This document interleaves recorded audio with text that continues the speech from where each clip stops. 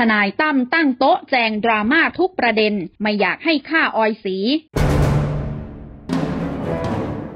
จากกรณีดราม่าเดือดทนายตั้มสิทธาเบี้ยบังเกิดที่ออกมาเปิดศึกโชว์รูปเงินปึกใหญ่แถชูวิทย์กมลวิสิทธิ์จนเจ้าตัวออกมาโพสต์ตอบกลับทนายตั้มว่าเงินในภาพนั้นเป็นเงินของสารวัตรสัวที่ให้ตำรวจนอกราชการเอามาให้ แลกกับการช่วยเหลือไม่แฉต่อ ซึ่งยอมรับว่าถูกยัดเยียดเงินจำนวนนี้ และก็ได้เอาไปบริจาคไม่ได้เอาไปใช้ส่วนตัว จนงานนี้ทำเอาชาวเน็ตแห่หันรถทัวร์ไปจอดลงหน้าบ้านทนายตั้มเป็นที่เรียบร้อย ขณะที่ล่าสุดโลกออนไลน์ ได้มีการจุดประเด็นเรื่องราวต่างๆ ของทนายคนดังเป็นจำนวนมาก วันนี้ 3 พฤษภาคม 66 เวลา 17 นาฬิกา ที่สำนักงานษิทรา Law Firm นายษิทราเบี้ยบังเกิดหรือทนายตั้ม เลขาธิการมูลนิธิทีมงานทนายประชาชน ตั้งโต๊ะแถลงทุกประเด็นที่ถูกกล่าวหา และตอบทุกประเด็นที่สังคมสงสัย นายษิทราเปิดเผยว่า จากกรณีที่หลายคนตั้งคำถามว่าที่ผ่านมาตนเองใช้ชีวิตแบบหรูหราและสงสัยเกี่ยวกับรายได้ของตนเองและบริษัทษิทรา Law Firm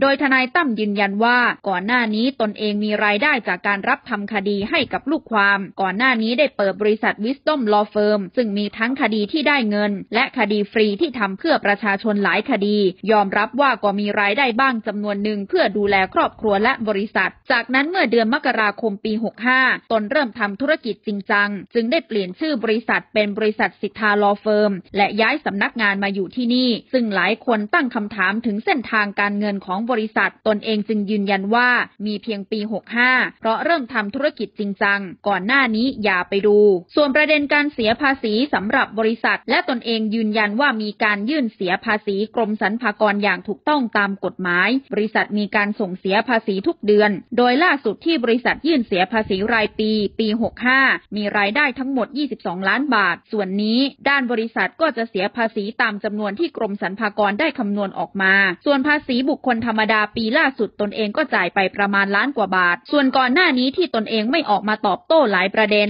ทั้งเรื่องของคุณชูวิทย์หรือออยสียอมรับว่าไม่มีเวลา เพราะต้องเดินทางไปต่างประเทศ เพื่อทำงานเรื่องคดีความให้กับลูกความที่ประเทศฝรั่งเศส รวมถึงตนเองพยายามรวบรวมเอกสารเพื่อมาชี้แจงกับสื่อมวลชนให้ครบก่อน ส่วนประเด็นที่ลุงพลและ FC ออกมาแฉว่า ช่วงที่ทำคดีให้ลุงพลมี FC ลุงพลช่วยบริจาคในการทำคดีให้ถึงหลักแสน ทนายตั้มยืนยันว่า ยอดการโอนบริจาคเข้าบัญชีมูลนิธิทีมงานทนายประชาชนในแต่ละครั้ง ยอดไม่เกินหลักหมื่น มากสุดเพียงแค่ 6,000 บาท พร้อมกับนำ statement ย้อนหลังช่วงทำคดีลุงพลโชว์ให้สื่อมวลชนดู อีกทั้งยืนยันว่ามูลนิธิมีเงินหมุนเวียนเพียง 2 0 0แสนกว่าบาทเท่านั้น และตนเองไม่มีหน้าที่เกี่ยวข้องกับการเงินอย่างแน่นอน ส่วนประเด็นที่เดินทางไปประเทศฝรั่งเศสบ่อยครั้ง ทนายตั้มเผยว่าว่าจำเป็นต้องเดินทางไปทำงานว่าความให้กับลูกความที่ประเทศฝรั่งเศส เนื่องจากมีเศรษฐีคนไทย มีแฟนเป็นชาวฝรั่งเศสติดต่อมาเพื่อให้ตนเป็นทนายความให้ หลังจากนั้นทนายตั้มได้เชิญลูกความคนดังกล่าว ชื่อว่าพี่อ้อย ซึ่งทนายตั้มบอกว่าพี่อ้อยเคยบริจาคช่วยเหลือประชาชนช่วงวิกฤตโควิด -19 รวมถึงบริจาคเงินสร้างอาคารโรงเรียนรวมกว่า 200 ล้านบาท มาช่วยยืนยันข้อเท็จจริง เพราะภาพเหตุการณ์ที่มีตำรวจช่วยยกกระเป๋าที่สนามบินที่คุณชูวิทย์นำมาโพสต์เป็นพี่อ้อย พี่อ้อยลูกความทนายตั้มประกอบธุรกิจครอบครัวเปิดร้านขนมเค้กยืนยันว่าเหตุการณ์ตำรวจมาช่วยยกกระเป๋าที่สนามบิน วันนั้นตนเองจะเดินทางกลับประเทศฝรั่งเศส ทนายตั้มได้เดินทางส่ง เมื่อถึงประตู มีนายตำรวจสองนายเข้ามาช่วยยกกระเป๋า ซึ่งตนเองก็พยายามปฏิเสธไปแล้ว แต่ตำรวจก็ยืนยันช่วยเหลือ ยืนยันว่าไม่รู้จักกับตำรวจทั้งสองนาย ส่วนที่นำคลิปมาโพสต์เพียงแค่ต้องการขอบคุณและชื่นชมในน้ำใจของเจ้าหน้าที่ตำรวจไม่ต้องการอวดอ้างว่ามีอภิสิทธิ์เหนือคนอื่น เพราะที่ผ่านมาไม่เคยให้กาดมาดูแลความปลอดภัย เพราะต้องการใช้ชีวิตแบบเรียบง่าย ส่วนที่ทนายตั้มเดินทางไปต่างประเทศ ตนเองออกค่าใช้จ่ายให้ทั้งหมด ส่วนกรณีที่คุณชูวิทย์นำภาพไปโพสต์บนเพจเฟซบุ๊กส่วนตัว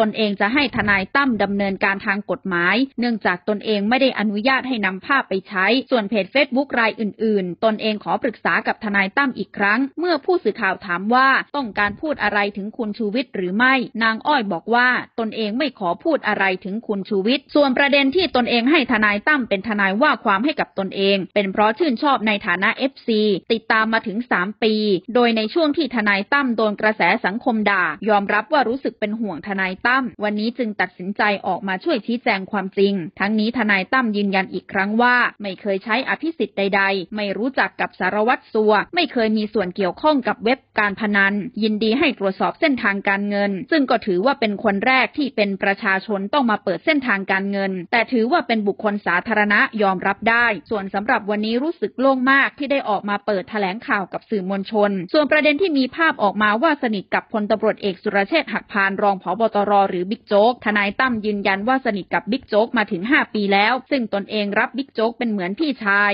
และภาพที่ตนเองโพสต์ลงเฟซบุ๊กเป็น account ส่วนตัว แต่กลับมีคนนำไปโพสต์ซ้ำแต่ตนเองก็ยอมรับผิดเพราะนำไปโพสต์ลงเอง ซึ่งบิ๊กโจ๊กก็ได้โทรมาพูดคุยกับตนแล้ว ส่วนประเด็นที่คุณออยศรีออกมาใส่ร้าย ตนเองไม่อยากให้ฆ่าคนที่ออกมาใส่ร้ายตนเอง ส่วนตัวอยากให้คนที่ออกมาโจมตีตนเอง อยากให้ไปหาหมอได้แล้ว แต่ยืนยันตนเองจะไม่ฟ้องประชาชนที่ถูกปลุกระดมจากเรื่องที่ไม่เป็นความจริง ซึ่งสำหรับเหตุการณ์ทั้งหมดที่ผ่านมา ตนเองยอมรับว่าเจอมาหลายรอบแล้วจนรู้สึกชิน อย่างไรก็ตามอยากให้เวลาเป็นตัวพิสูจน์เอง